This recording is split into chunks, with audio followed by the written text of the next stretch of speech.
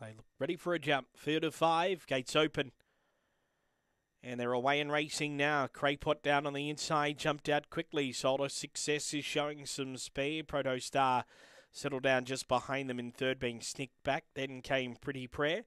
And Velvet Lady detached some six lengths away at the rear. So the leader is Craypottle on the rails. Had a narrow lead on Solder Success and wider as Protostar, who's moved up moved up strongly and made a line of three. Pretty pair, a pretty prayer is two lengths back in fourth, and Velvet Lady still six lengths away at the rear as they swing into the straight now. We're moving up out wider. Protostars taking the lead from Craypot, who's being worked up. Solder Success in third, and then followed by Pretty Prayer, and out the back is Velvet Lady. But it is Protostar down past the 200, assuming a big lead now, opening up three lengths Craypot, then Solder Success and Pretty Prayer. But it is all Protostar. Nursed down to the post here by Clayton Gallagher has won it very, very softly indeed. Protostar beats either Solder Success or Craypot. The